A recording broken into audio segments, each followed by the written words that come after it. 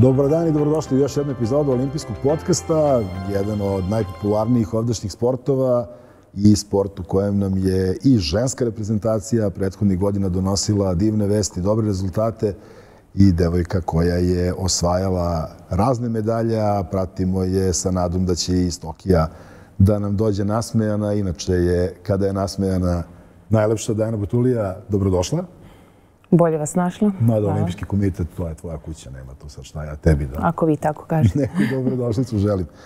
Kaži mi kako si ove 2021. godine koja ne bi bila olimpijska, da je sve normalno, ali kako mnogo toga nije bilo normalno, ispadoše igre baš sada. Je li ti to nešto blizu, daleko, taj Tokio? Koliko razmišljaš, koliko se nadješ, raduješ? Pa prestala sam davno da se nešto i nerviram zbog mnogih stvari.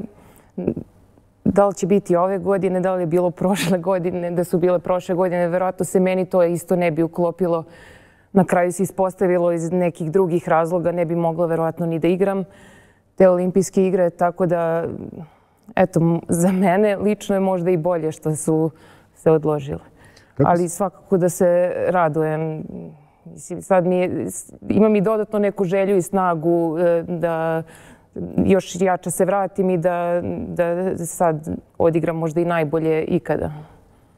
Ti se posle pauze vratila, posle vrlo malo treninga i vrlo malo priprema i videlo se da ti košarka nedostajala i nije se videlo da si nešto zaboravila. Pretpostavljam da sa tvojim iskustvom i kvalitetom nije baš realno da nešto zaboraviš. Koliko ti je samo potrebno bilo vremena da uđeš u taj ritam i koliko si spremna da na te neke teške, ozbiljne pripreme kreneš za koji mesec? Pa ja sam iskreno i začudila kako sam se brzo vratila, jer nisam mogla izbog korone četiri meseca. Prvo, ono sve zatvaranje, pa neke stvari što su mi se izdešavale. Bila sam sprečena da treniram, nisam mogla da treniram ukupno 10 meseci. Ipak imam 35 godina i razmišljam, neće meni biti više tako lako da se vratim kao kada sam imala 25 godina posle povrede ili nečega. Tako da Ja sam se začudila da sam već posle par dana osjećala sam se da imam snage, da imam želje i motiva možda još i više. Da li sam se odmorila, da li mi se telo konačno odmorilo posle 20 godina bavljenja košarkom i više. E, tako da brzo sam se uklopila u sve i ja sam inače poznata po tome da kada nešto zacrtam, ja mogu da treniram po ceo dan. I ceo dan da sam u hali i u teretani ili bilo gde mogu da ostanem ceo dan i da me ljudi bukvalno teraju. Alo, moraš nekad i da odmoriš. Tako da se ne plašim baš da se neću vratiti. Dobro, pa vratila si se sad, da. više nema to, nećeš, hoćeš. A kaži mi, kada sad razmišljaš o tome, eto, Bože zdravlja, druge olimpijske igre, u odnosu na tu devojčicu iz Kikinde koja odluči da se bavi košarkom, kad ti je prvi put palo na pamet da ćeš daleko? Pa skoro sam baš našla neki dnevnik košarkaški koji sam pisala. Ne sjećam se ja svih tih uh, detalja od kad sam bila mala. Ali čitam dnevnik i prosto ne verujem da sa 12 godina ja pišem da ću ja otići mnogo dalje od ove Kikinde. Mislim, Kikinde u smislu malog grada, male sredine, Ne sad da je Kikinda loš grad. Tvoja je, pa da. Moja je, meni je najbolja. Ali sam bila svesna da ja da ću daleko stići, da ću igrati u inostranstvu, da ću osvajati medalje, da, da bukvalno da ću, da ću ostvariti sve neke svoje snove te dečije. Tako da i kad čitam taj dnevnik, e, podsjeti me koliko sam ja u stvari od malih nogu znala šta hoću i gde hoću da budem. Dobro, u principu ja mislim da ljudi teško stignu daleko ako ne zacrtaju sebi da žele daleko, ako ništa drugo. Možda ne stignu svi, ali mora da postoji taj početak. Kako ti danas kad vidiš neke klinike koje kreću da igraju košarku, a toga sada ima više nego što je bilo prethodnih godina, čini se da je onaj najgori period kada je taj sport baš bio u krizi, kada je masovnost u pitanju prošao. Šta pomisliš kad ih vidiš da kreću oduševljene i srećne na neke prve treninge? Konkretno za košarku ili? Za košarkašice male kada ono... Pa, volim, volim i uvek posavetujem sve devojčice i na ulici. Mislim, volim da im uvek eh, kažem neki dobar savjet, jer stvarno mislim da je košarka najlepši sport, eto, možda nisam skromna. E, ali mi je žao što nema toliko, eto, kad već pričamo o, tih ne, o tim nekim, e, kad sam bila mala, danima, e, ja sam bila na ulici po ceo dan. Po ceo dan sam igrala basket, po ceo, mislim, neki sport. Nisu me zanimale stvari što, devojčice rade, barbike, lastiši i to. Prosto sam, uvek me privlačila lopta i i odemo na bazen, ja igram futbol za čacima pored bazena. Mislim, prosto mi je, uvek me je sport privlačio i žao mi je što ne viđam, na primjer, devojčice danas toliko na tim košarkaškim terenima. To ih posavetujem, pošto sam ja sad bavim malo i trenerskim poslom i završila sam i DIF i to je ono što čime želim da se bavim i da ostanem u sportu i da učim te neke mlade devojčice nečemu čemu je mene Marina naučila svoje vremeno.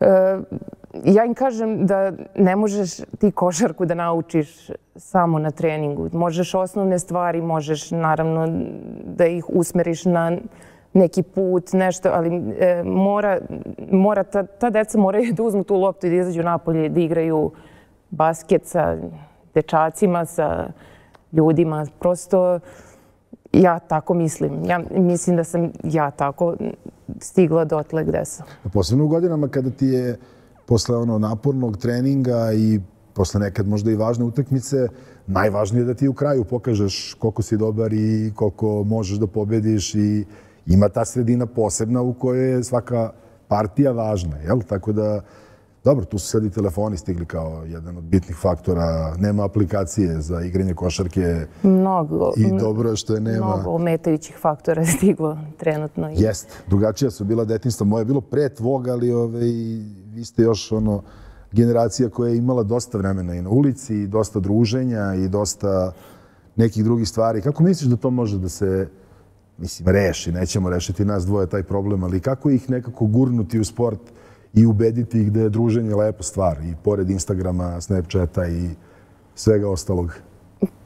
Pa mislim da možda nećemo nas dvoje promeniti cijelu generaciju, ali mislim da u svakom nekom tom e, sportu ili ne mora da bude sport e, u društvu, da se nađe još nekih dvoje.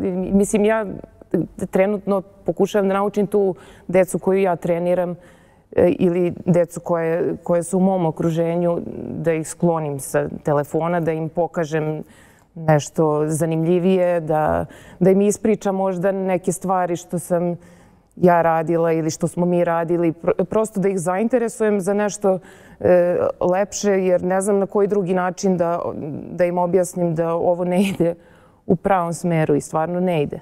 I stvarno mi je i strašno nekada kako je to sve počelo, mislim kako to sve izgleda. Jeste, da, to je, mislim, teško ih je razumeti, verovatno je to večiti problem generacijski, ali stvarno je utisak da ono se premalo dece znoji na ulici, vitla, na kraju krajeva samo šeta, druži, ne moraju da, mislim, da. nisu svi za sport, ono. Kada si ti negde odlučila da je to to? Kao klinka si želela, sanjala, maštala, kad si prelomila, ja ću ovome da se posvetim do kraja i neću se štediti ni malo? Pa na samom početku, kad sam počela da treniram košarku, prosto mi više mi ništa nije zanimalo, osim košarke, dobro školu što sam morala. Ali ti neki časovi engleskog, išla sam i u muzičku školu, svirala sam harmoniku. Ovaj, mene to više ništa nije zanimalo, prosto sam samo eh, jedva čekala taj trening. I Pa vrlo brzo sam shvatila da sve devojčice nekako u malim sredinama, manjim sredinama je, kao što je Kikinda, e, ta neka početak srednje škole, to je neka, neki limit i ono prekretnica da i tu nekako svi već krenu da polako odustaju od sporta, krenuću druženja, izlasci, sve one stvari koje kad si mlad ne želiš da propustiš kako su utakmice uglavnom vikendom, pa tad se ide i u grad, znate, tad trebate imati lepu frizuru i sve, ali kad dođeš s utakmice ne možeš da stigneš sve. Tako da, eto, prva moja sestra je u tom trenutku odustala. Igrala je isto dobro košarku, ali prosto bilo je bitnije da bude lepa u gradu nego ja sam tada shvatila da ja ne želim tu da se zaustavim i, i da znala sam da moram da odem negde i to se već desilo sa 14 godina e, kao i mnoge reprezentativke koje sad igraju morali Jelena Milovanović, Nevena, jo, Nevena Jovanović, morali su da odu rano od iz tih nekih manjih mesta da dođu i da žive same u Beogradu. Kako ti to izgledalo, taj prelaz? To prestravilo ili si znala šta je cilj pa je sve moglo?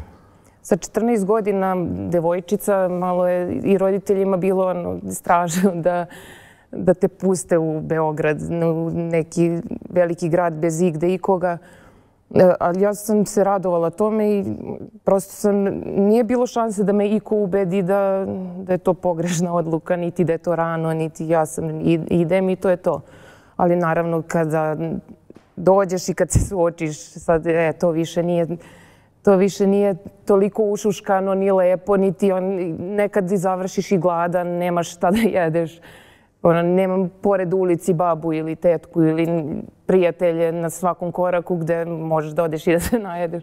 Mislim, hiljadu stvari i prepreka ti je e, ti se dešavaju u tom trenutku. I bila sam prvo u srednjoškolskom domu i sećam se, ceo zid mi je bio izlepljen drugaricama, drugovima, porodica.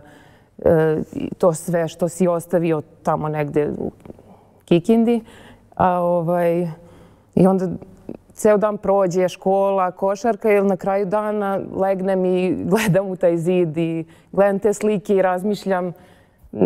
Dosta puta sam razmišljala da li je ovo uopšte vredno toga. Mislim, teško mi je bilo, teško ti je da totalno neka bajka od života i onda odjednom boriš se sam, e, puno prepreka moraš da pređeš i nepravdi i I, ali sve na kraju to teško te i nauči i ojača i ne znam šta sad može da me pokoleba ili slomi posle svih tih stvari.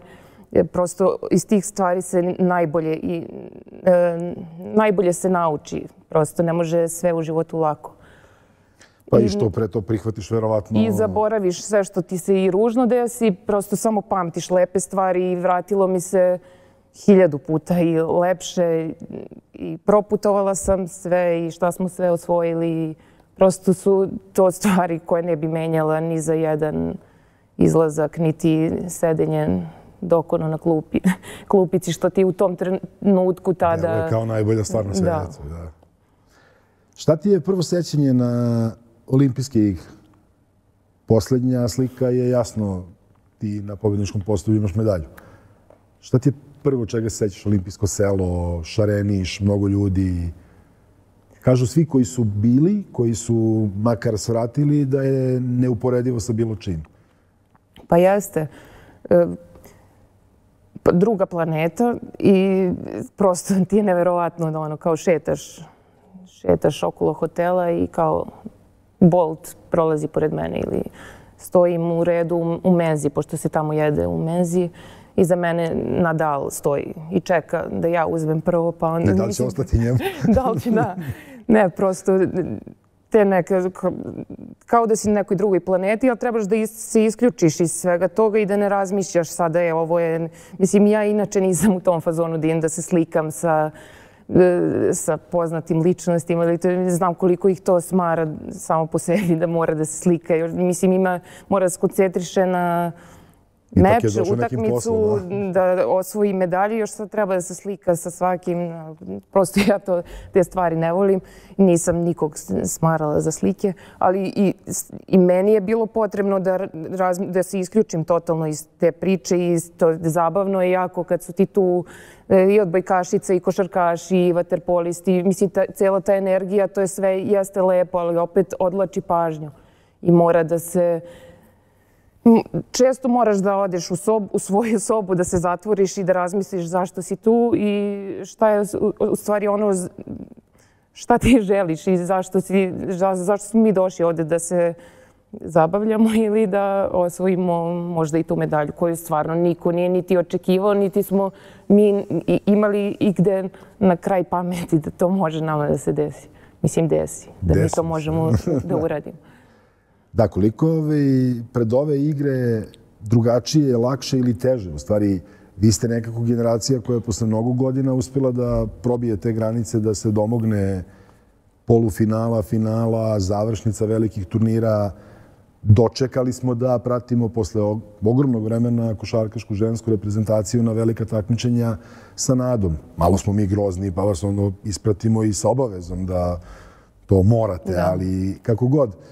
Koliko je lakše kada je ta prva barijera probijena, kad je prva medalja došla, sad u stvari vi više nigde ne morate da se dokazujete. Dokazale ste se. Da li je to recimo samo olakšanje ili je negde i problem? Jeste s motivom dobre i dalje? Pa jesmo.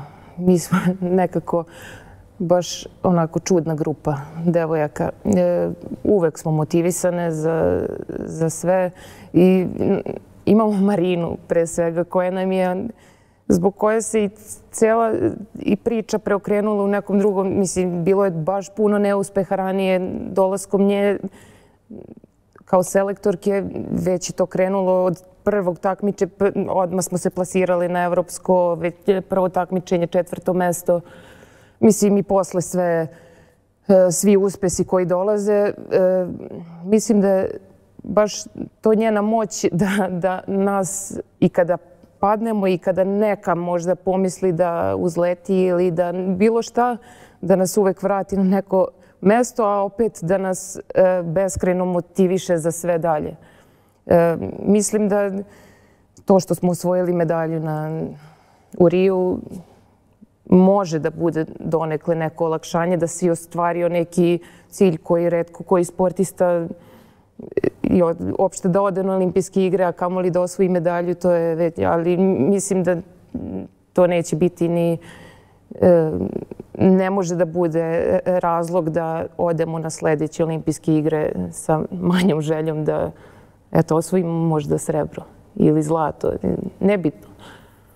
A jesi već u tom svetu, odnosno kako recimo reaguješ, vi ste imale sad kako se to zove, sreća, verovatno u ovim ludim okolnostima da se kvalifikujete pre celog ovog pakla sa koronom. Niste u ovoj grupi brojnoj sportista koji dalje malte ne, ne znaju da li će ići na olimpijske igre. Za početak košarkaši. Sada kada se približilo i kada već znamo da će to biti tada, kada znate grupu na koju idete i te španjolke koje je vreme valjda više da se pobede. To svaki put kažem. Navijat ćemo, na veze. Ove, jel razmišljaš o tome? Jel vrtiš slike, jel imaš neku ideju kako to tamo izgleda i da li uopšte zamišljaš kada se spremaš za neko takmičenje šta će se tamo dešavati? Možda kad se približi malo, sve mi je to tako i još daleko. Još je daleko, da, jer mi imamo specifičnu situaciju da mi imamo i ovog leta i evropsko prvenstvo u krajem juna, pa olimpijske igre krajem jula. Tako da mi moramo da razmišljamo i u jednom i u drugom takmičenju. A pre svega trebamo da razmišljamo prvo o pripremama i, sve tako postepeno. Ne volim da razmišljam daleko. Prosto mi se hiljadu puta desilo da je totalno se desi stvari kako apsolutno ne planiraš i u pozitivnom i u negativnom smislu. Prosto ne može ništa da se planira. Niti da vrtim sad milion slika, bit će onako kako u tom trenutku bude. Jel? bude. Nema te slike još. Jel? Ne, ne postoji slika. Da. A reci mi koliko je užasno teška godina, sva su takmičenja bila neobična, nenormalna, naviknu ljudi na svašta, pa su navikli i na balone, i na utakmice bez publike, i na manje putovanja, i na neka skraćena rešenja. Koliko je oštećen sport, tvoj sport pre svega, i kako ti se čini sada, recimo, aktuelni trenutak neke košarkašice tvoj ili tvojih saigrača iz reprezentacije ili vaših protivnica, koliko smo izgubili ovom godinom i hoće li biti ovo leto onako kako smo se nadali prošle godine? Pa, košarkaški pričam. E, Možemo životno, nego... Ne, nego, mislim, leto u smislu zato što svi kukaju za leto, more mi to. A ti to nemaš pravo da. već dugo, jel?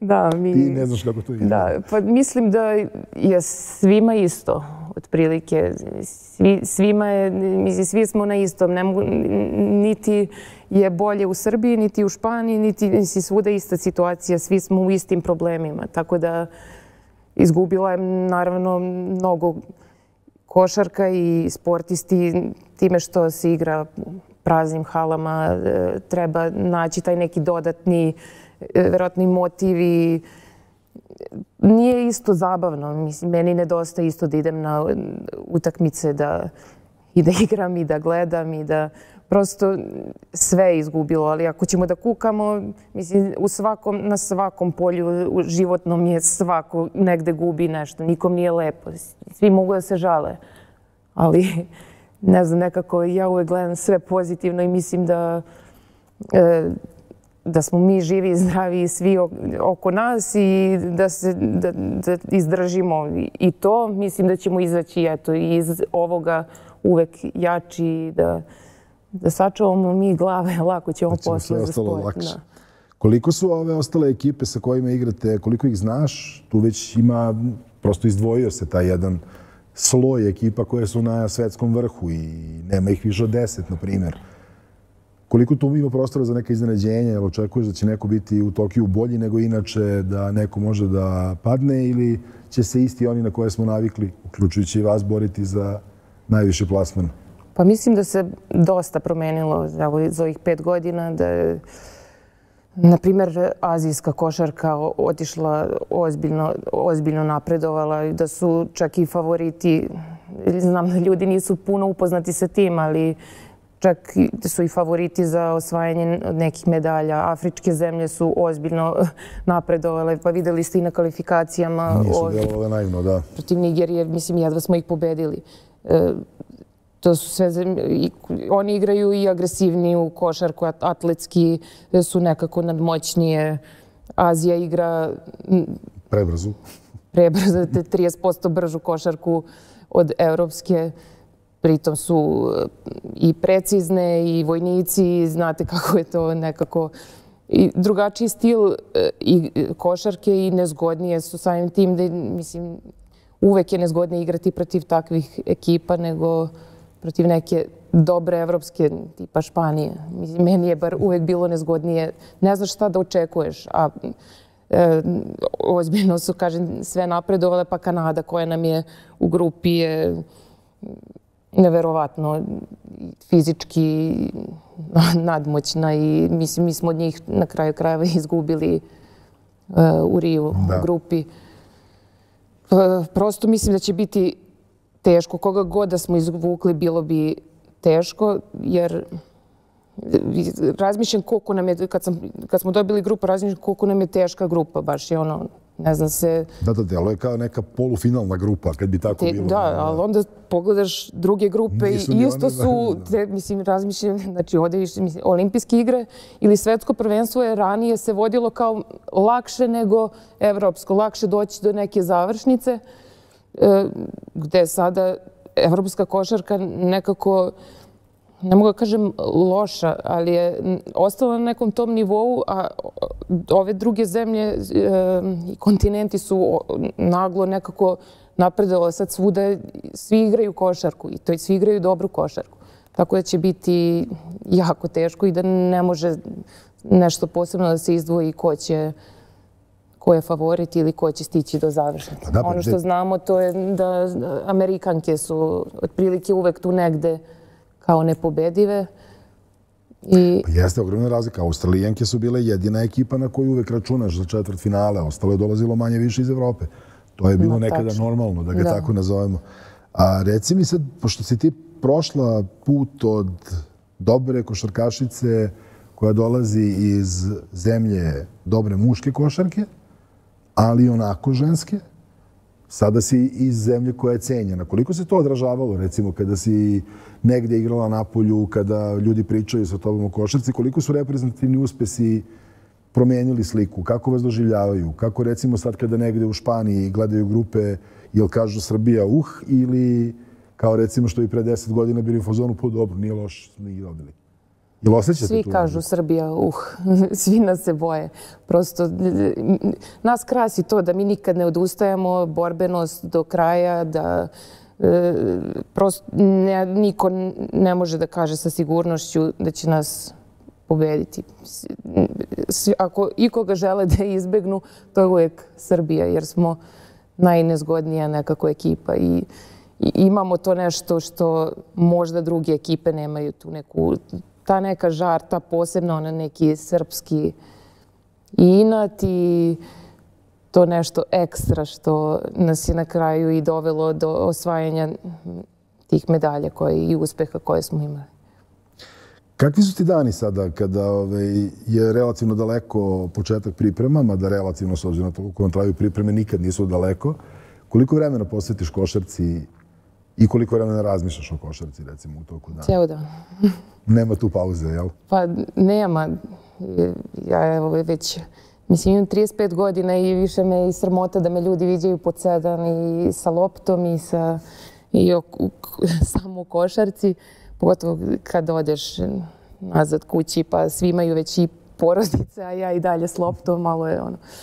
Ali ovaj, kao što sam vam već rekla, ja se bavim i trenerskim poslom sada, tako da sam treniram i pionirke Marinine škole košarke i najtalentovaniju decu individualno treniram e, isto u njenom pokretu za žensku košarku. Pa e, sad je otvoren institut za ženski sport po uzoru na pokret e, Marine Maljković. Isto je ona došla na ideju da otvori besplatno školu sporta. Sad razne sportove otvaramo. Ja sam idem na sastanke, otvaramo e, u raznim gradovima, na raznim lokacijama i u Beogradu razne sportove da bi se devojčice privukle da se bave sportom, da nemaju izgovor da nemaju gde.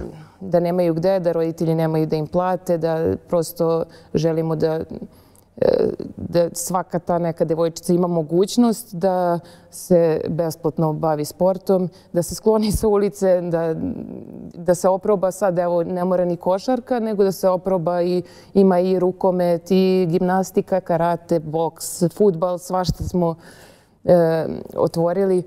Tako da da, kao što sam rekla, da se sklone deca s ulice, da, da ostave te i telefone i da, da ih naučimo, eto, nekim, da ih usmerimo na neki pravi put. Ne moraju one biti uspešne u tom sportu. Naravno, Ni ne može naravno. svako, uspeće možda jedna ili možda nijedna, ali će biti uspešne u nekom drugom poslu. Ma imaće manje dana bolovanja, znaće s ljudima, znaće u timu, svašta se kroz sport nauči, nije to... Svašta se nauči, I da. mislim da je jako vredno i važno, sa Zoranom Arunović sam pričao isto ideji ove instituta, jako je bitno i užasno je nepravedno što je već negde postalo normalno da dečaci imaju veća prava pod znacima navoda da se bave sportom. To prosto ni u jednoj srećnoj i ozbiljnoj zemlji nije tako, tako da je jako važan taj pokret i stvarno se nadam da će dati rezultat i da od one najosnovnije stvari, to kao fizičko je čas na koji devojčice i ne moraju. Da. To je sve potpuno pogrešno i stvarno Pa i vidite samim tim što su, evo, sada u ovom trenutku koliko sportista je žena koje su Više se... Više žena trenutno u Tokiju imamo, da. Tačno. I medalje koje se donose s olimpijskih igara često su to... Pola, pola prošli put, da. Tako da Naravno da je nepravedno i prosto i meni je žao da se podrazumeva da sin ide na futbal, košarku. A, a za, na glumu, a? Da, na glumu ili bilo što, mislim, za nju nemamo, ili za nju nemamo dovoljno da za tu članarinu ili nešto. Prosto, eto, to je cijela ideja tog instituta. Znači, svi, da svi imaju jednake šanse i deca sa sela i iz manjih mesta i na kraju što Marina uvek ističe, cijela reprezentacija nema jedne, osim Sonje Petrović koja je iz Beograda. Jeste, to je, mislim, za sve sportove ti znaš, igrala si po Evropi tamo gde su sportovi baš uspešni, gde su lige baš dobre, nigde nema takve centralizacije da je sve u jednom gradu, a ako baš neko jedne godine negde i ako uzmeš i u drugim sportovima, ne znam, odbojka, najbolja italijanska se igra u malim mestima, rukomet koji je recimo u Nemačkoj najbolji je u opet malim mestima, tako da je to jako važna stvar. Jako važna stvar i decenijama dolaze šampioni iz tih, kako ih nazivamo, manjih sredina, pa onda možda negde u nekoj fazi je potrebno da se negde dorade, ali kako god, sigurno je to dobra osnova. A košarka je centralna tema razmišljanja, to sam siguran, Gde smo sa slikarstvom? Naišao sam na zanimljiv podatak da si se dohvatila četkica i štafelaja. Pa da, kad, dok su mnogi kukali korona, ne mogu ovamo, ne mogu onamo. Meni, ja sam došla na ideju da, u stvari, bio je Uskrs, ja sam krenula prvo nešto da farbam. Našla sam od... Od malih formata. ne, našla sam od, od sestrine čerke neke tempere i pošto ne znam da bojim one onim bojama, ja sam uzela tempere i ja je ofarbala i tu našla neki papir, krenula da crtam i vidim to meni liči na lepo. Mislim, nije to baš tako, krenula ja tako da, da šaljem mojim ljudima i svi su ono, od kad ti znaš da crte, ne znam, nikad nisam ni pokušala. Ne, i tako sam, svakog dana sam, što nije kao slikar, treba kao to danima, to sam čula da se to, što ja nisam profesionalac, to se uze kao, pa danima se, to, ja uzmem pa nacrtam dve slike za dan. Prosto mi bilo zanimljivo nekada uzmem ujutru, e, ne jedem, ne pijem ništa, ne stim se ničega, ono već mrak padne, ja sam totalno u toj slici, ne znam, nekako me to verovatno izvuklo iz te cele priče razmišljanje sada je sve je zatvoreno, nemam gde da idem, meni je bilo super. I tako da sam na, na, naslikala sam baš par jako lepih slika. Sve od sam... koga stiže najviše pohvala? Od koga? Pa ne znam, ali su mi se svi razgrabili za slike i A ja sam takva i onda ja svima dam i sad ne mogu ni da... Moraš nove sada da slikaš. Da, moram nove. Uvek razmišljam na nacrtaću ja novu, još bolju. Sad, tako da ne mogu ni da napravim izložbu. Jedino da sad tražim tim ljudima koje su svuda po svetu moje slike, ali... Ne, to me nekako opušta i baš mi je lepo i srećna sam što sam eto, otkrila neki novi talent. Znaš da u svetu, ali sad ozbiljno, da je recimo jedna od interesantnih stavki kada je slikarstvo u pitanju, da kada slikar proda sliku, taj koji je kupi je njen vlasnik i ima obavezu da je, ako postoji neka izložba, vrati za to vreme.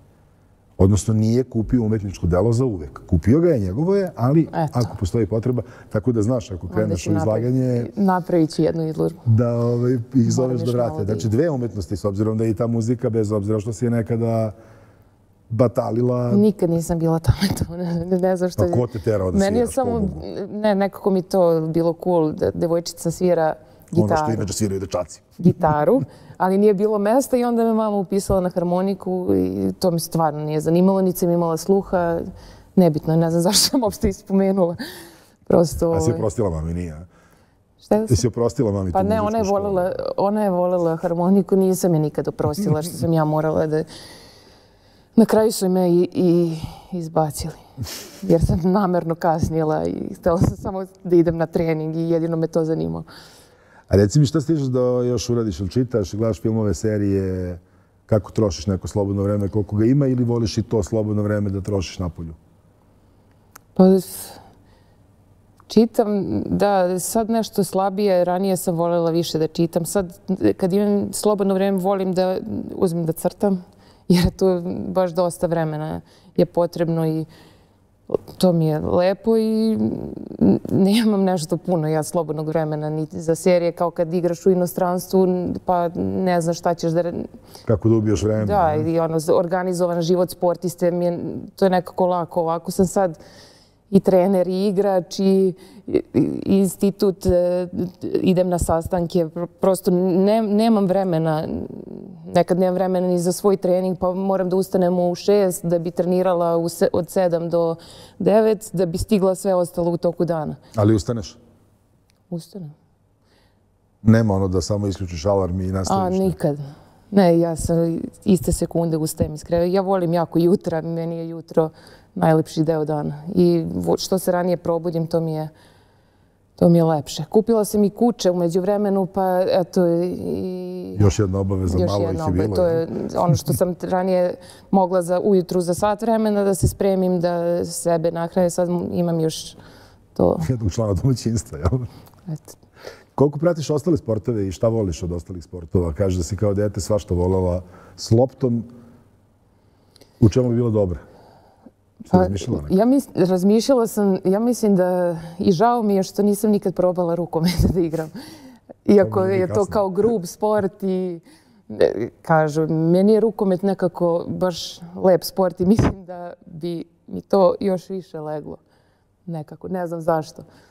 Ali naravno da se nisam pokajala. Košarka mi je nekako najzanimljiviji. A sve si uradila, mislim, pa.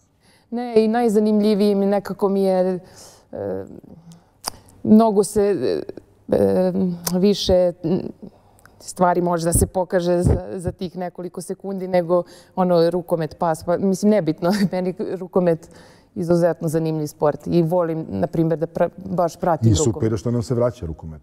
To je isto divna Da, vest. da, to i je u posljednje vreme, krizi, da. Ja baš i, i idem na utakmice često i Partizana, imam i člansku kartu i, i, i kad odem u god, kad god odem u Kikindu, oni igraju isto e, Super ligu. Volim da odem na rukomet, prosto, eto, to je ono što najviše pratim pos, pored košarke, mušku košarku. Mušku košarku gledaš, gledaš. Ili Gledam. idu dečaci na olimpijske igre? Da li idu? Pa idu. Idu, a? Italijani samo, jel? Pa, Ili misliš da neko drugi može da zasmeta na tom putu? Pa ne znam sad tačno ni kojim je grupa, ali mislim da ne možemo da ne idemo. Jel tako? A Pa možemo da se vratimo to bogati i prebogati kad je košarka u pitanju iz Tokija. A i za sebe nećeš da prognoziraš. Šta misliš da mogu muškarci da urade? Pa za njih tek ne bi da prognoziram. Jel da? Ne, pre bi, pre bi uvek prognozirala za nas gde sam više upu- upućena, mislim da. Ti da utičeš na kraju krajeva. I gde mogu da utičem i gde, da. Prosto ja bi volela, naravno, uvek navijamo za naše, ali nek se svako potrudi, nek da maksimum, pa Da će to biti dobro. A, a koliko stigneš uopšte kad si bila u Riju, na primjer, igrali ste to do kraja, tako da vrlo malo bilo vremena da nešto drugo ispratiš. Jesi stigla da odeš da odgledaš nečije utakmice, takmičenja? Pa nismo mi ni nešto imali da vremena zbog treninga i utakmica, ali smo išli na jednu košar... išli smo na finale košarkaša i na fa- finale vaterpolista. Pa dobro, nije malo. Kada, kada smo, da, mi smo tada osvojili medalju i odmah smo jurili da vidimo šta će oni. Pošto smo se Vi s njim- pokažete. Da, nekako smo se s njima najviše i družili. Uh, oni su napravili kafić od svoje jedne od soba i tu smo svi sportisti dolazili. Tako da, ne, nekako su mi oni bili dodatno najsimpatičniji i jedva smo čekali da odemo na to finale, da njima pružimo podršku, da pošto smo mi osvojili medalju, da eto, ispratimo i taj događaj, ali na druge nismo stizali da odemo. Da, vaterpolisti su u tom Riju imali valjda i najveće opterećenje. Oni to Jeste, tako, oni su baš bili- sve i nikako to zlato. To je... Baš su bili opterećeni, seća se da smo svi išli i opuštali ih i mislim i oni uvek su bili nekako, nikad se do kraja nisu opustili dok nisu konačno os- osvojili to zlato. Jer mislim da im je baš bilo ogroman pritisak i javnost i stalno je nešto bilo ja, sve, ali nikako da osvoje to zla i oni su baš bili opterećeni da se to konačno desi, tako da I desilo se. desilo se. I nije loše što se desilo Da. uopšte. Kakvi su ti košarkaški planovi, da tako kažem? Vidiš sebe kao trenera, uživaš u tome ili ti ovaj neki organizacijani deo više odgovara? Vidim sebe kao trenera. Što tako zabrinuto? Pa ne, ne, ne, ne vidim sebe nešto puno u ovom organizacijonom delu. Prosto je, volim to da radim uz, ali trenerski posao me baš privlači i uvek me privlačio. I završila sam i školu za to. Ja sam profesor sporta i košarkaški trener, tako da volela bi sad tačno da li želim da budem mlađih kategorija ili jednog dana da bude možda i prvi trener neke seniorske ekipe. To, taj put jasno ne mogu još da vidim, ali želim da se bavim trenerskim poslom. Nalaziš se u tome, mislim, to Nalazim prijeti, se jel? u tome da to mi je daje... Stroga? Stroga jesam. Jesi? Stvarno? Pa jesam. Jesam, ali sam i pravedna i, i volim na kraju posle kad se završi e, kad se sve završi da imam sa, njim neki, s njima neki normalan i prijateljski odnos, ali na treningu sam baš e, stroga jer nekako sam, cijela moja karijera je vezana, većina moje karijere je vezana za Marinu Maljković još od Ušća, pa kad je ona imala 21 godinu, ja 17, ja, e, pa Hemofarm, Partizan. Nekako sam učila od nje, znam šta je, znam šta je mene, e, to, šta je mene vuklo da ja odigram najbolje moguće e, za nju kao trenera. Želim da imam takav pristup prema toj deci kao što je ona imala prema nama prema meni, šta god da nam je trebalo, šta god da nam je, gde god da je škripalo, da li je to ljubav, zdravlje, znači ona je uvek bila tu za nas. Ona nam je bila kao neka starija sestra i prosto sam, e, e, njen model mi je najbolji mogući model kako ja želim da budem i kao trener i kao čovek i čemu da učim tu svu, svoju neku decu. I mislim da ne mogu da pogrešim. Ali vidiš negde neku buduću reprezentaciju gde su i neke devojčice koje si ti naučila košarci i gde je neka velika gužva, gde ih je puno kandidatkinja, neku jaku ligu ovde. Jel veruješ u budućnost ženske košarke u Srbiji? Odnosno, jel ti se čini da ovo daje rezultate? E, verujem, da. Verujem, mislim da smo našim rezultatima mnogo e, doprineli da se eto, današnja deca, devojčice ne bave samo odbojkom, e, već ima dosta dece koje se bave i košarkom i vidim u tim, pogotovo sad e, još mlađim ovim nekako te 10 do, do 13 godina devojčice koje trenutno treniram, e, to je neverovatno koji oni imaju i želju i, i talenat i mislim, naravno da u životu ne može, ne može ništa da se garantuje. Hiljadu stvari mora da se poklopi. I sreća i da nema povreda i upornost i talenat i mislim hiljadu stvari. Kad pogledaš, kad kad prođeš ceo taj put, ono, kad si taj, ta mala neka devojčica od 10 godina pa do evo sada, E, toliko talentovanih, toliko... E, igrala sam sa takvim košarkačicama koje su samo u nekom trenutku nešto nestale su. Ugasile Uga... se. Meni nije nejasno mi je. Cijela moja generacija je 86, prosto ne, već dugo ne postoji ni jedna košarkačica iz moje generacije koja je bila izuzetno talentovana. Osvajali smo i medalje u mlađim kategorijama i prosto ne mogu da kažem ništa sa sigurnošću. Da ima talenta, ima, da ima devojčica koje e, koje hoće da rade, koje imaju želju, koje ima, ali ja im samo želim svu sreću da im se poklopi u životu i eto i ta neka generacija ne može ni sve sam.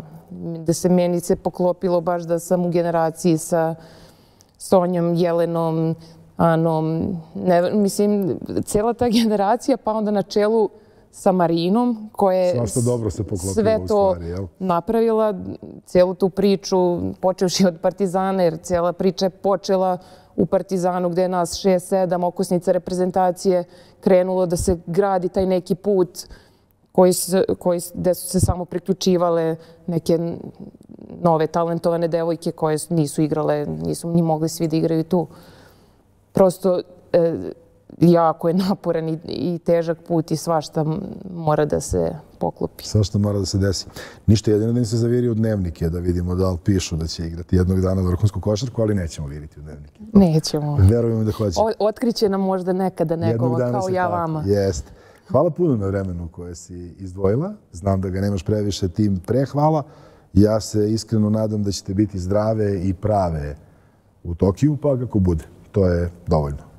Bar mislim. Hvala. Ja mislim da, da su mi zdrave, da nam ostalo više ništa drugo ne može da nas spe, zaustavi spreči. Ja? I zaustavi. Da. Srećni, hvala, hvala puno. puno. Čuli ste jednu divnu devojku, Dana Butulija, ima žena medalju sa olimpijskih igara, a nadamo se da će joj zdravlje i sreća uz sve ono što sigurno ima doneti još neku vi kada stignete, posetite i sajt www.olimpijskimuzej.rs. Podsjetite se nekih velikih uspeha dok čekamo nove u Tokiju i dok čekate nove epizode.